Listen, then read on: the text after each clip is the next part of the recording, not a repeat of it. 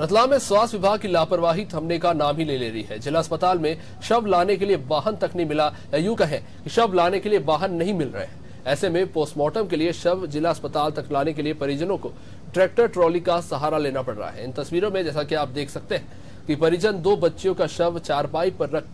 रखकर tractor trolley के सहारे जिला अस्पताल लेकर पहुंचे हैं और वहां से शवों को पीएम रूम तक काफी मशक्कतों के बाद ले जाया गया